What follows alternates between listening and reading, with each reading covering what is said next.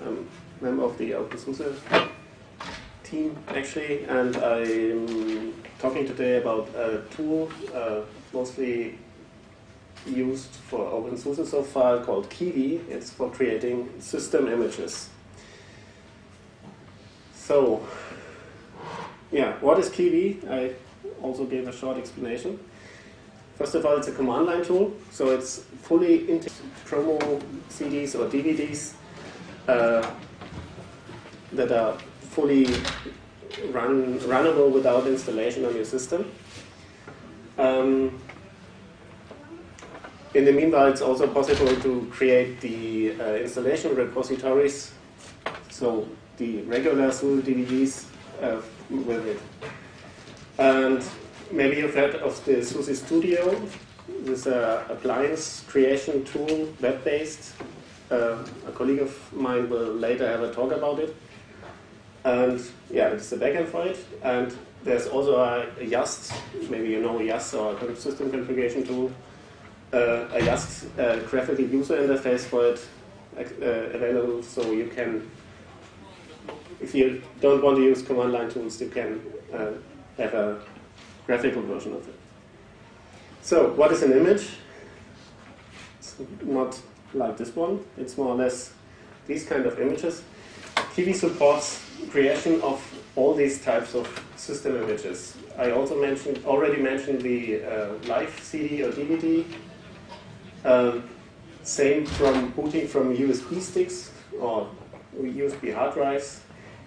You can also have an OEM hard disk image, means uh, you can have a, a simply a, a big hard disk image to simply DD on a hard drive and you can mount it to a computer and everything will be running.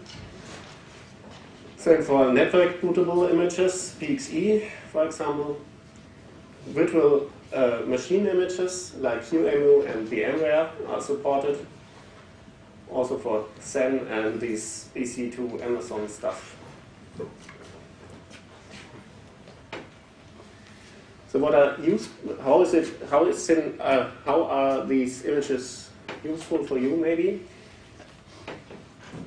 For example, if you want to distribute uh, your software, maybe an open source project or even a proprietary project running on Linux, so you can create a, for example, DVD with your software already installed and pre-configured. Simply distribute it and your customers or your users can evaluate your software you can actually pre-configure everything so it's running out of the box. You can create rescue systems, for example, a USB stick where you can boot from to restore your maybe backups from elsewhere. And yeah, as I already mentioned, um, to pre-install a Linux system on many machines. For example, if you're a system administrator and have a a computer pool, maybe in a university with 20 or 30 machines, all the same, or maybe even not the same, simply DD an image on it and you have a running system.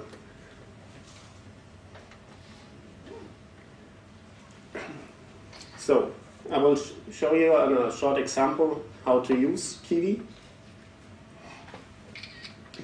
It basically needs only three steps till you have your image ready.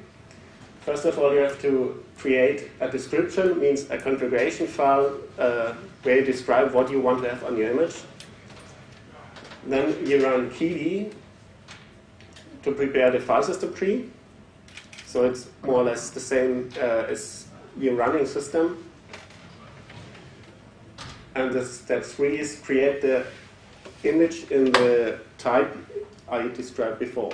So if you want to have a ISO or hard disk image or whatever.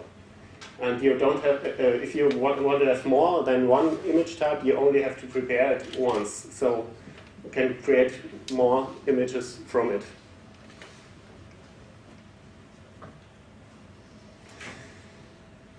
So, short explanation about the first step. It's more or less simply a directory where you put all the stuff uh, you need for your uh, image init. And this is basically an XML file that uh, contains, for example, a package list and uh, maybe some services you need for your image and some optional, optional stuff. You can manip do manipulations of the, your image on different stages during the, during the build process. I will explain. Uh, it can also contain simply files that you want to have on the image and that maybe are not packaged into a RPM package or Debian package, for example. Um, there are also files that you may have, maybe do not have in your running system, but only in the in the distribution media. For example, on a, on a installation CD, you have licensing files or something in the root tree, but you will not have them um, in the system you have running afterwards. And in the OpenSUSE case, for this YaST2 first boot configuration, uh, if you will use this YaST, YaST2 first boot tool to uh, do configurations on the running system on the first boot. So if your customer is booting your image, then you maybe have different audio hardware than you have. YaST2 first boot will do that for you. So usually it's a bit boring to show huge configuration files in a presentation. However, for this example, uh, that is, by the way, included in the documentation of uh, Kiwi, not only this one, there are many different use cases included. It only needs about 40 lines of description to have a OpenSUSE live ISO image prepared. And these are basically these 40 lines. And everything is contained in an image container, and for example, we have uh, some meta description for it. The author is the original author of uh, Kiwi's Marcus Schäfer. I'm doing the presentation for him. Um, describe your image, maybe give it a name, and yeah, you also can have um, um, a longer explanation for it. It's not included here. Then you have, of course, preferences of your system. So different image types have different uh, settings. So in this case, we only have the image type ISO included. So that, that is the already prepared and in Kiwi included uh, boot image. You can give it a version. Um, you can use different package managers. In this case, we are using the SUSE tool Zypper to install all the RPM packages. You can also use Smart for that. That supports, as you maybe know, also non-RPM distributions, or at least uh, Debian. Um, some other configurations, for example, the key table to make it fit for the uh, keyboard you expect to using to be using. Uh, you can define users. In this case, we only have a root user. You can prepare the password for this user in an encrypted, uh, hashed way. You can, of course, also have a usual, as regular users pre-configured. Um, the most differences between all these images will be uh, the software that is installed on them. So we have, uh, first of all, you have to define a system repository where all your program packages are stored before the installation. In this case, we are using uh, the, this is a shortcut for OpenSUSE, for the OpenSUSE installation repositories online. It's basically an installation over HTTP. That short, this OpenSUSE part only shortens the URL a bit, and as you can see, we have the Elementor 2 repository where uh, the, all the packages for the installation of the image will be uh, You can also use local file systems. Maybe you have a local DVD with all the RPMs on it, or you have a copied down this, downloaded already these three. There's also file and uh, local directories actually. Uh, the next part is you select the packages you want to have installed. And there are basically three types of, well, yeah, in this case, I have only two types of packages. This is a pattern. This is something that is specifically for OpenSUSE. That is because it's, uh, uh, that's the reason why it is prefixed by OpenSUSE. Um, we have so-called patterns, and the default pattern means that is the minimal system you need to have a running OpenSUSE. So it's a, actually a collection of packages. And you can select additional packages. For example, this package Vim, if you want to have an editor on this. And if you want to have, you can uh, manipulate where the packages are, where you need them. For example, in this case, uh, you need it in the in the boot system because it's the boot splash branding, so uh, that your image is starting already with an uh, OpenSUSE graphics.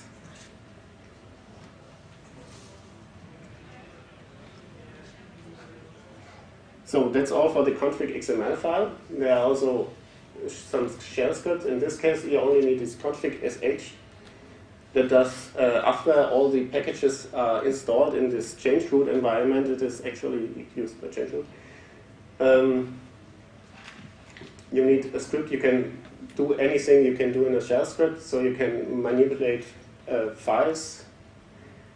You can, for example, in this case, I'm talking about this uh, OpenSUSE image. There are some services enabled.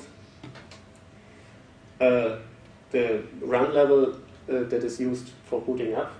So boots in this case up to run level 3 only, I think, because it's a basic system and also a SUSE specific, specific part uh, are running OpenSUSE config to do the system configuration with it.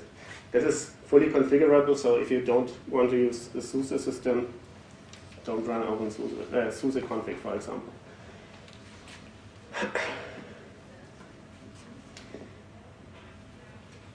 So after we created the configuration for our system, um, the actual file system tree is built up, and this is what, uh, how, or when Kiwi appears first in this thing. You only need these two parameters. Prepare means the prepare, we are calling it in the prepare spec, uh, step. There's uh, the third step is a different parameter. Um, you need a directory for that, where to store all the packages. Not the packages, where to store the image. And, um, oh, sorry, mix it up. Uh, here's the description we, we, are, we are prepared uh, before, and the root is, of course, the root image there to put all the data. And this call is running for a while, and because it's created a full root tree, this is usually uh, where you can also, after it is finally prepared, can change router and do manipulations in it.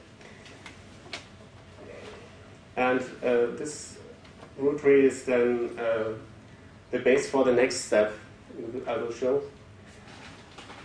If you want to create more than one image type, not only a ISO image, maybe also a USB image, then this step you have to be done only once then you have these basically your setup and create more uh, images afterwards.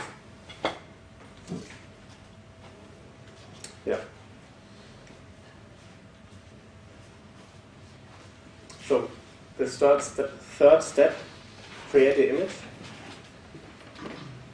called create with the root path from the call before, the type you want to have, because you can, of course, configure more than one type, as I already told in the description file. In this case, we want the ISO uh, image and the destination directory where to put these ISO images. and after that, it also takes a while. You have a, a ready image um, that you can use. And you can, for example, uh, check it first uh, with VMware or QEMU if you have an ISO image, for example, and your, your pre-configured image is ready. It's actually as easy as I described it here. So, uh, so far we were also only talking about uh, the SUSE way as um, because Kiwi is uh, so far prepared only for OpenSUSE, but it is, as I can show you here.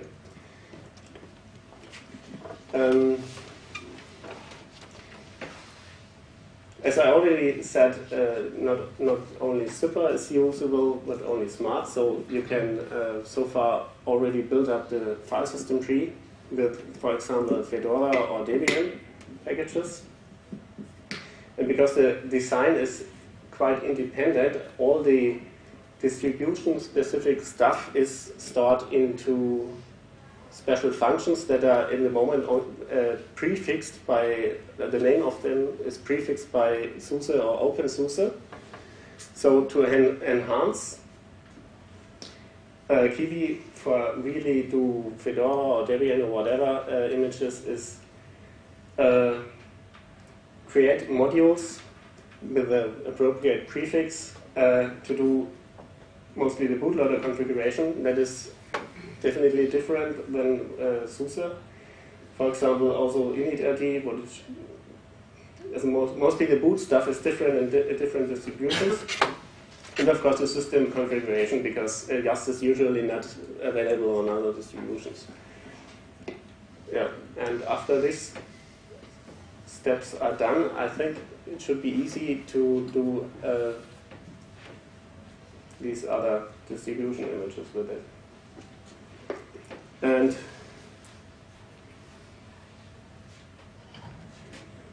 so I can only say, please contribute if you are interested in building system images and you may be familiar with other distributions. If you are able to program in Perl, then you will be you will have it easy because Kiwi is completely written in Perl. Only some parts are, of course, shell scripts. And it is open source and free software because it's licensed uh, with GPL. And uh, to contribute, you can simply check out it on the Git repository on Berlios.de. So, if you want to find out more about Kiwi, uh, there are two websites, the project webpage on Berlios.de and of course in the OpenSUSE wiki, where you can find uh, some more use cases. There are also already people that uh, did some projects with it. They mostly have done uh, descriptions where what they did and uh, wrote it down in the, Kiwi, in the wiki. You'll find more examples and a quite good documentation. Uh, I have it printed here. That's a Kiwi cookbook where you can uh, quite easily create some types of images uh, step by step explained. And if you want to install it via RPM, you can find them in the OpenSUSE build service in the project virtualization appliances. Yeah, and I think I was quite fast, so I already am finished with my talk. So if you have questions, just ask them now. So at the moment, uh, only OpenSUSE is fully supported.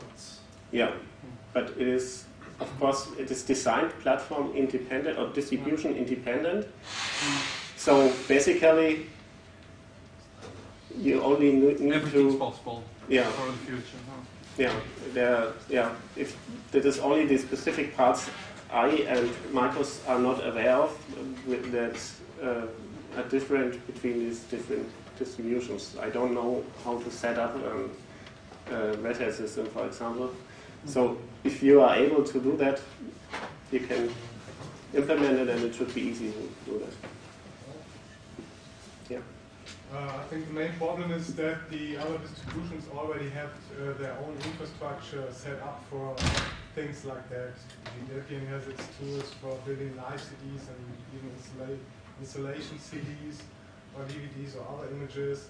Uh, we got the same in Fedora, so there's no need, real need to adapt a tool from another distribution, which maybe don't fit enough, or you have to uh, um, put quite a, a, lot of effort into it uh, to allow builds on other distributions. Um, so the question is, does it have a real benefit in comparison with the tools other distributions already had for quite a while, even before Kiwi uh, has been started. the only benefit I personally see is uh, the usage of SUSE Studio to build other distributions because this is a unique project. This other I don't know distribution who already has a similar infrastructure. It's really cool. Um, and uh, if you could manage to implement uh, a build system for other distributions out of Studio, uh, this would be a, a, great effort for, for everyone. So the, basically to do that, it would be necessary to make it possible to create images yeah, from other. Because in the build service, we already are able to build packages actually for other distributions, and uh, since it is quite based on a build service. Yeah, but I've tried to build Fedora packages with, build, uh, build, with the OpenSUSE build service, and it's not quite usable as the tools we use within our distribution. So so basically, you need a spec file. should simply come together and sit down for a while and yeah. talk about it, and uh, maybe we'll find a way uh, uh, to improve it to make this happen. I think the the the main thing that differentiates Kiwi from all the other distribution scripts that are there to build live CDs is that it is not distribution specific. Mm. So you have a tool that everybody yeah. can use. Of course, it would need adoption. Yeah, in theory, but you have to put uh, quite a lot of effort into it to make it happen, that it uh, will be able to build other distributions. Why? I'm not sure how hard it will be to implement for example. I mean, what I don't think it's too hard because uh, you, you, have these, uh, as you already mentioned, there are scripts doing Fedora images, for example, and I think you're more or less doing the same. So we could snip out some the specific parts and plug it into Kiwi somehow. So, hmm, yeah, yeah. I see a serious um, advantage, no matter if it's Kiwi or something else. If you have one description and yeah, you just rerun it for and you get it yeah, but uh, the problem is in history because yeah, every distribution already had their tools I and agree. nobody came together. And uh, yeah. I definitely like the approach to keep it open by design. Definitely. Uh, uh the same example is MirrorBrain. It's open by design. It's a cool project. But it's not only just about building uh, distribution images. I know from a customer um, who wants to go this way for filling his appliance, adding his own code to a distribution. And right now he runs on different uh, generations on SUSE. He wants to just package his application and all this stuff for different appliances and things like that. But the big idea on, on them is also they want to have one description for all their setup and their hardware drivers, a lot of stuff involved and client server stuff and things like that. And if they don't want to like, or if a customer asks, oh, we don't want to like this box running SUSE Linux or whatever, then they just replace the part, oh, take this distribution, we make that, and that didn't happen yet, but it, at least it works with different versions of SUSE Linux. And it would be really great if I, now that more and more virtualization is coming, maybe it's another topic. If someone asks, I have to have this appliance for my system administration stuff, running Fedora, Debian based, whatever, uh, then it would be much easier to package all the stuff I want to ship and sell uh, that flavor and this flavor and things like that, and having a generic tool which do, does all of this would be really nice. And since it's scripted, I haven't looked. I have looked a little bit into it and never, didn't try yet to adjust these things. Just fix other bugs and mm. should be doable. Uh, so uh, one question about the framework is um, the studio part. Is it already open source now, or uh, is it still internal Is it available? It is available, but I think it's not really open source, the studio part. Okay, but you're planning to make it open source, or does Novell plan to make it open source? Do you know anything? That's maybe you can ask in the build service talk later, because I'm not involved in the build service actually. actually. Uh, in the build service, and then in the, in the studio talk later. that's a studio. I'm not involved in the studio team. You mentioned uh, OpenSUSE. Can I also use it for SLES? SLES? Yeah, yeah, definitely, because it's basically the same. You only have to define the repository for the uh, SLES packages, and the configuration is nearly uh, the same. They're just cheap OpenSUSE knockoff. Some people are uh, like it. Um, do you know of real world uses of Kiwi? What are people doing with it? On the uh, uh, in the wiki, there are some uh, use cases. Uh, people actually using it. Um, yeah, to be uh, the SUSE Studio, for example, uh, ships an appliance uh, system image to uh, do in-house uh, that customers can do in-house image creation with it. So it is basically its own customer. yeah. So what about the, uh, if you concentrate on SUSE, what about the debrand or rebrand process? Is it already implemented in Kiwi right now? Because I know we talked about for a year or so back, um, because it's not allowed to rebuild a SUSE-based uh, distribution and uh, spread it if it still contains the SUSE signs. Is it already implemented? I'm not sure about that. Well, the, Yeah. there, there is a simple, I mean, that's uh, rights or uh, law stuff. So there's a simple way of just requesting permissions to distribute Ah, okay, that can stuff. And there's a tool called Rembrandt, Yeah, I know that. which is Yeah, but usually the tool has also all branded stuff split it out Yeah. packages, so you Yeah. see So- where Yeah. you can which look is You have simply the choice not to install these packages that are branded. It's nothing Ah, related to from- Kiwi. From another build service source or something like that. I guess you can split that, yeah? Uh, Or you have to, uh, to set up your own build service source from which you build, which only contains packages that have been rebranded or something like that. uh, you, you simply don't have to use. To, they are, all the branded packages are separate packages. Yeah, of course, but there are dependencies from other packages. I, I, I don't uh, think that, that you can simply remove them. oh, you can. I think Oh, okay. so. You Yeah. can. d- d- There's just there's the main package, then it's the dash branding, dash upstream that contains the upstream branding. Then there's dash OpenSUSE and dash SLES or whatever. That is, for example, these um, boot splash branding package that is included here separately. That's the reason why it is there.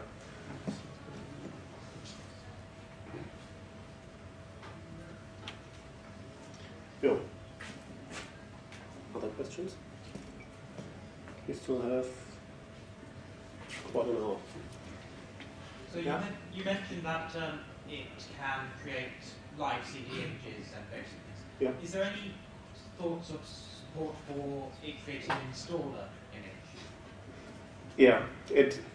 I did not describe that. You can also create the, uh, or actually the 11.3 images that will be released in, I think, three months or something like that, will be created with uh, Kiwi. So installation sources are also possible in the meanwhile. Actually, the version one was already. Actually? Yes. Ah, okay, it's only SLES 11 SP1 that is currently. Okay, doesn't matter. It works. And that's actually the part I am working on. Do you ship this XML configuration files as example? I don't think Yeah. they are included. Yeah. are, that are included in user share doc packages Kiwi. Oh. Uh, they are, I don't think I have them on this computer, but uh, even 11.1 to, no, 11.0 to 2, and not only live ISO images, or, uh, also live USB sticks, and a lot of configuration is there. But And, for the uh, installation images too? Yeah, Not for the installation Yeah. images, only for the live images. exactly. But you Yeah. can- you can check out the installation which is descriptions from the web service. Ah, okay. So Okay, yeah. And how to build them is described perfectly in the, in the documentation. I, I, I'm really happy about this documentation, actually. You have written it, I guess. No, it's written by the original author, Marcus Schäfer. Yeah. So, thanks a lot. If you're interested in use the web pages, they are really useful, actually. So, thanks.